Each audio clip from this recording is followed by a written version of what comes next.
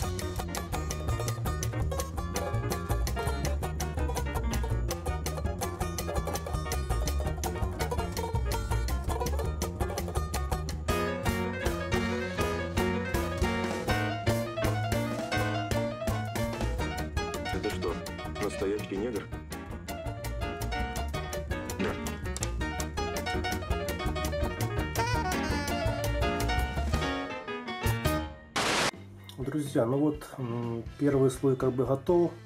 Оно немного сейчас подсохло. И я сейчас, ну, наверное, уже не на камеру, а так пройдусь вторым слоем. И кроме того, совсем я вышибла из головы, надо будет покрасить диски. Красить я их буду с помощью опять-таки аэрографа и линеечки. Да? Все это происходит просто. Прилаживаем, находим нужный нам диаметр. Прилаживаем и проходим, красим. Вот. Ну, столько всего накрасил я базовый слой. Теперь буду конкретно приступать, во-первых, к раме. Надо будет двигатель покрасить по-другому чуть-чуть рессоры. Потом к каткам приступлю тоже, здесь надо будет, как они правильно называются, запамятовал. Ну, короче, вот эти ободки надо будет прокрасить. Ну и, короче, так, по ходу, по ходу начнем немножко доводить до ума. Ребята, ну вот, подкрашиваю двигатель так, как вот хотят в инструкции. Но, честно говоря, блин, чувствую как какой-то сизифов труд, какую-то бесполезную работу. Слушай, ты, тебе что говорят, ты то и делай. А то я тебя в раз уволю. Без выходного пособия, буржуй недобитый. Во-первых, его видно не будет. Во-вторых, ну вот они сам двигатель предлагают красить в цвет кузова. То есть ну, этим песочным, по сути, как я и покрасил. Но вот как-то меня ну, смущает эти цвета. Было, но так не было, я, честно говоря, не знаю. Ну, то есть, то есть как бы красить крашу, ну блин, ну не знаю, не, не, мне это. Наверное, я все-таки брошу. А еще, знаете, что меня интересует? Сейчас я, ну, во-первых, колеса надо будет, да, поприклеивать. В том числе запаска, где у нас вот сюда. Вот так вот ляжет запасное колесо, эти колеса. А, но еще надо сделать э, выхлопную трубу выхлопную трубу. И она здесь опять тоже, обратите, вот цветка. Цветка это у нас это ржавчина. То есть он весь ржавый от начала до конца. Тоже как бы сомнительное такое решение. Ну, наверное, я тоже таким ржавым сделаю, как они хотят. Коллеги, не могу не обратить ваше внимание на выхлопную трубу. Ну, во-первых, сразу хочу вам показать вот как ее рисуют асимовцы. То есть она, ну, во-первых, она покрашена сразу ржавчину. Я с ними не спорил, покрасил также. Здесь мы, что мы видим? Она собирается как бы отдельно вся. И потом где-то как-то вот приклеивается. То есть однозначно понять невозможно, куда она приклеится. Понесло. Здесь, правда, эти две, два краешка в двигатель там есть места, но как она располагается по самой раме, непонятно. И что отдельно хочу заострить ваше внимание, что она идет цельная. Так вот, может, конечно, я неправильно ее сделал, но э, вроде как бы стало все красиво. Но цельная она мне не влазит. То есть, видите, я ее пропустил под вот этой балкой. И пришлось в этом месте ее, она ну, здесь из двух частей состоит. То есть я ее склеил, потом пришлось ее разъединить вот здесь, приклеить отдельно к двигателю и потом отдельно к ней пропустить под низом и прикрепить отдельно, э, как бы собрать воедино. То есть вот такой вот косарик небольшой. То есть, ну, как по мне,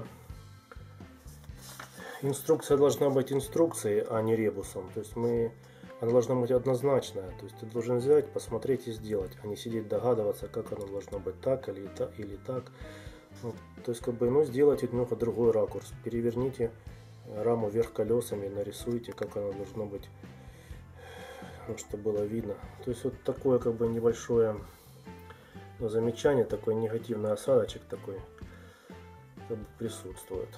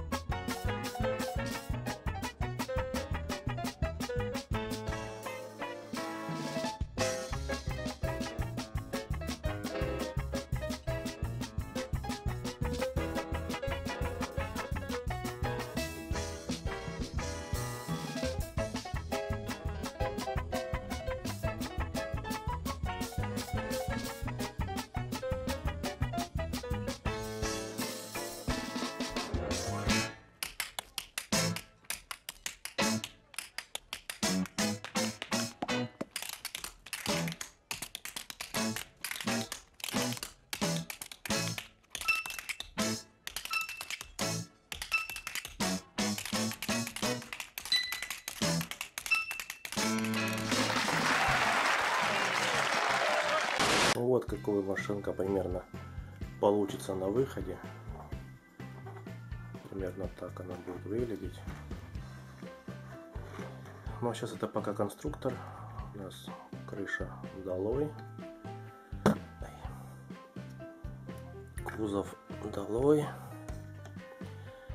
И вот по сути у нас вот такой вот шасси собрано вместе. Значит, что сейчас? Сейчас я буду наносить камуфляж на кузов, на кабину. Ну, а потом смывки, точки и так далее. Больной. Думаешь? А что, не видно, что ли? Нанес, ребят, вот такой вот я камуфляж. Ну, скажу сразу, что ну, это от себятина. То есть как бы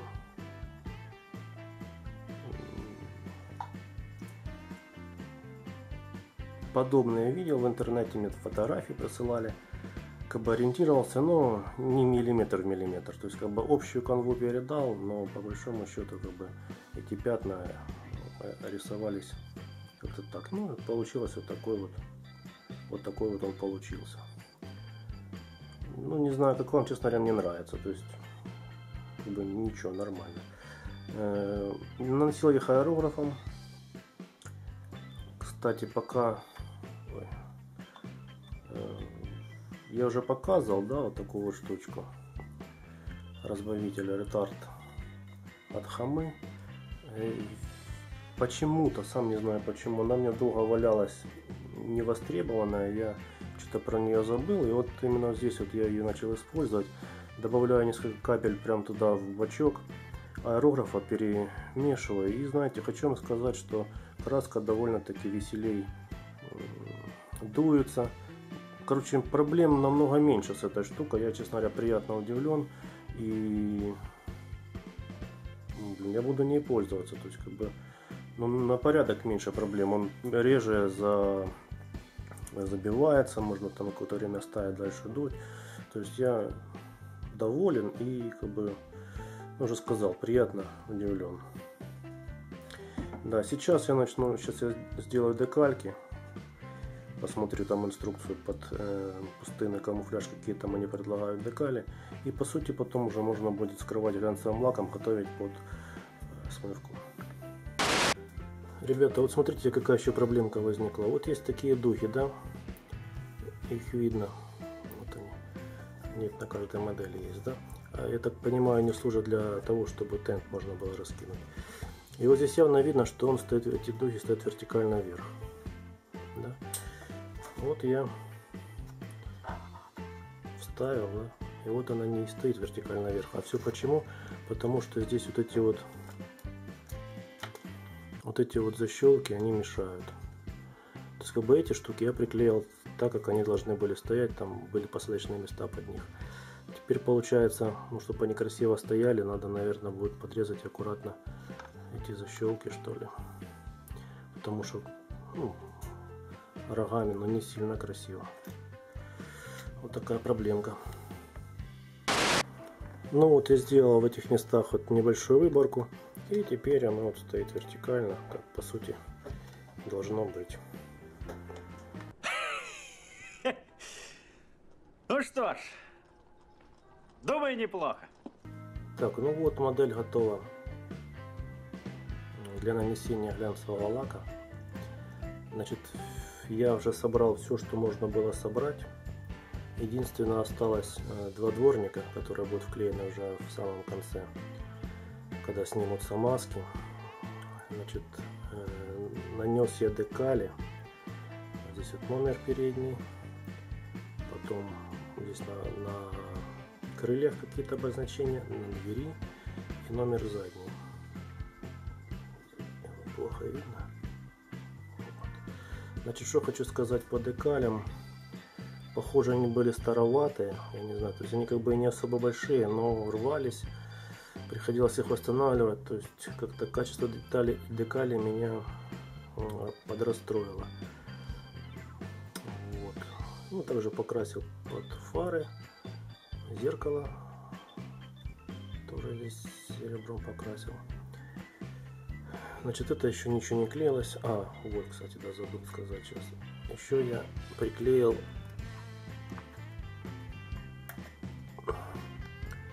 приклеил вот брызговички передние, да, то есть вот. Ну и в принципе вот так вот тремя частями я их и буду скрывать лаком, обрабатывать каждую часть отдельно, уже в самом конце, наверное, соединим все вместе. Вот начал делать смывочку. Вот, загадил кузов. Смывка вот такая. Водная, коричневая. Хомы. Ну, сейчас, ну, чуть-чуть подсохнет, лишнее вытру и покажу результат.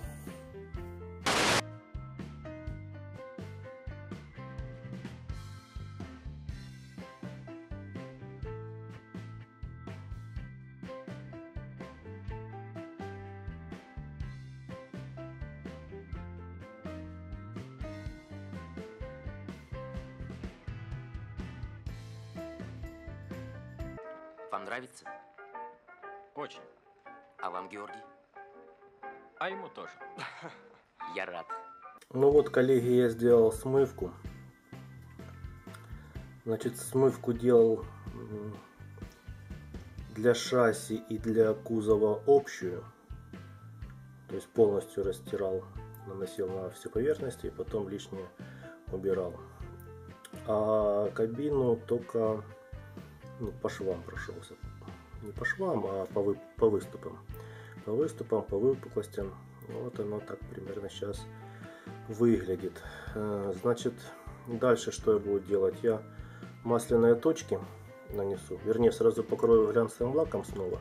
И потом нанесу э, масляные точки.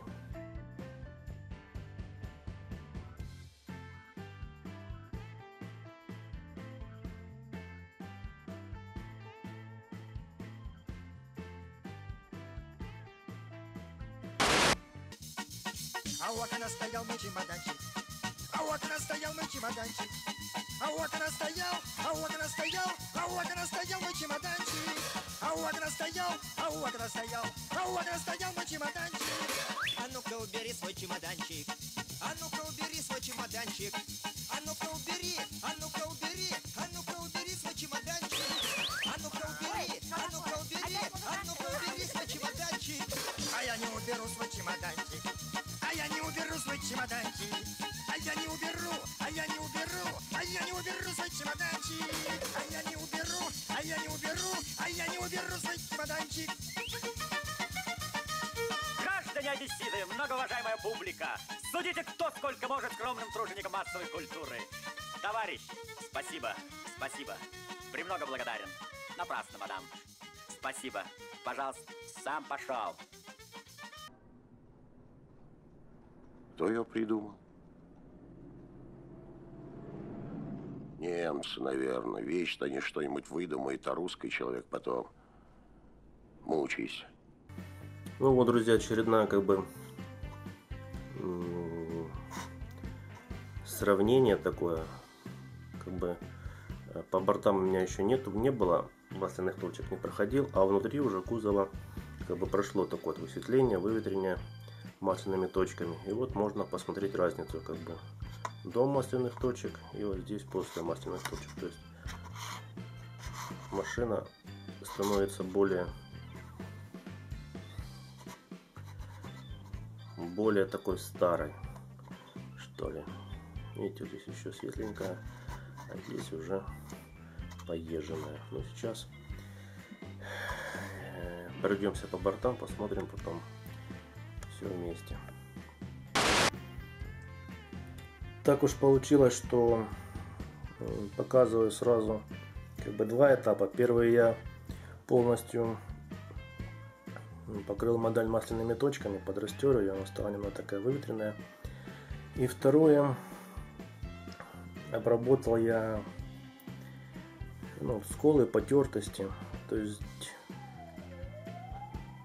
чтобы вам было понятней, вот ручки немножко металлом, так прошелся сухой кистью, Э, металлом немножко прошелся по вот этим вот частям, немножечко, а также ржавчиной, э, ржавчиной подножки, крылья, передок, вот такой немножко бампер хорошо такой заржавел. Ну, короче, машина не новая, как бы получилась. Такая вот с этой стороны тоже. Значит, э, напомню, может показаться где-то она сейчас неровно кривовато. Кузов и кабина еще не приклеены. Э, я специально это не делаю для того, чтобы было удобнее добраться к нужным частям во время покрытия пигментами. То есть после покрытия пигментами я уже тогда ее полностью закреплю так, как нужно. И машина, по сути, будет собрана, готова. Друзья, ну вы, наверное, помните, в одном из своих роликов я когда э, крепил раму к теле, тележкам, рассказывал свою эпопею про вот эти вот скобы, которые, из-за которых не становились телеги. Я здесь их обрезал. Но думал, что на этом дело как бы и закончится. Но оказалось, что нет. Оказалось, что будет продолжение этой эпопеи.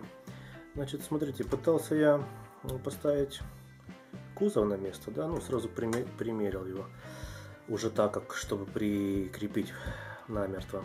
А он немного не, он становится, но появляется щель. Вот здесь вот тут до конца не доходит, как бы сзади немного. Ну, короче, это там щелки миллиметровые. Начал я присматриваться, в чем же дело. А оказывается, э, у него такая конструкция вот здесь.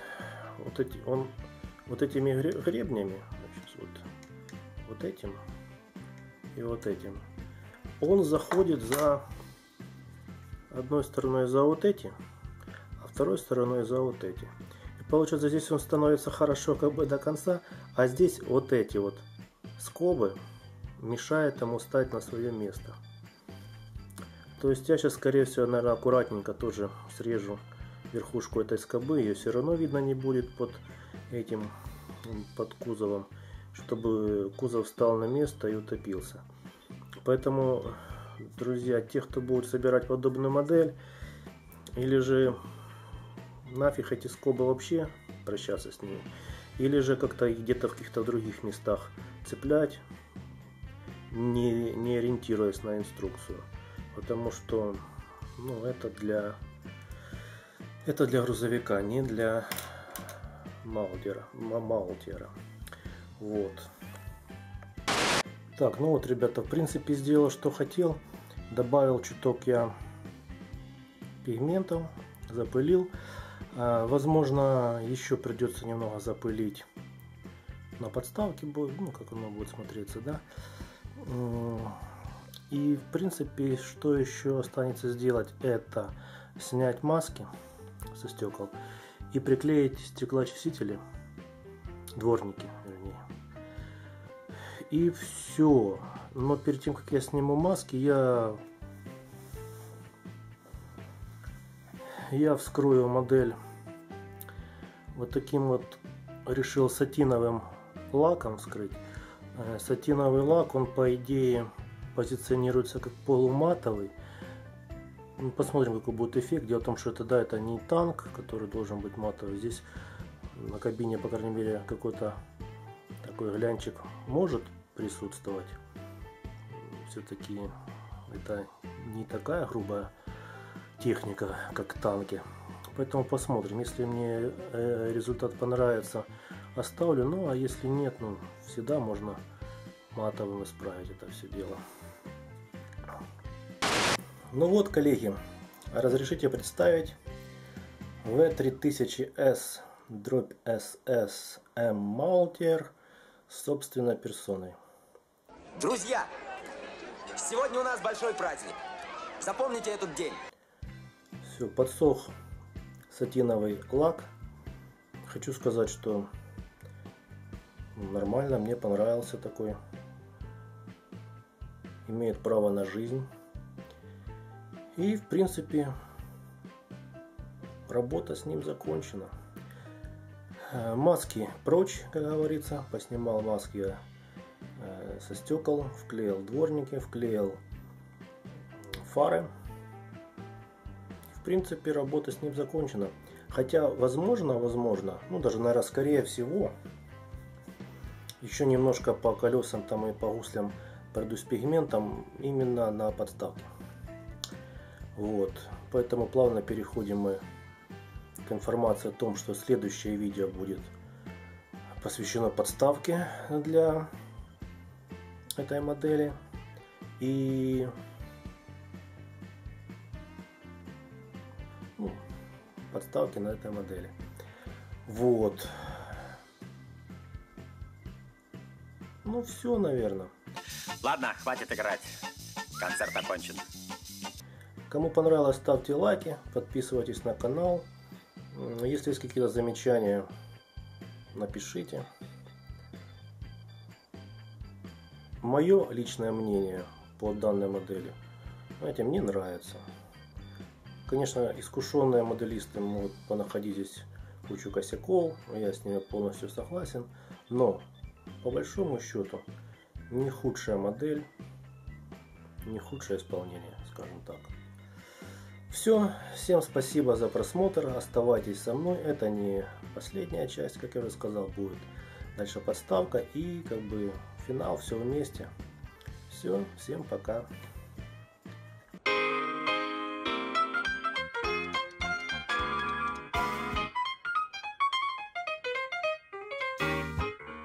Старый рояль, весь в испуге, раньше играл Он только фуги, он весь дрожит от страха Не слыша Баха, теперь на нем играю я. Старый рояль, мне поверь, мне поверь, старый рояль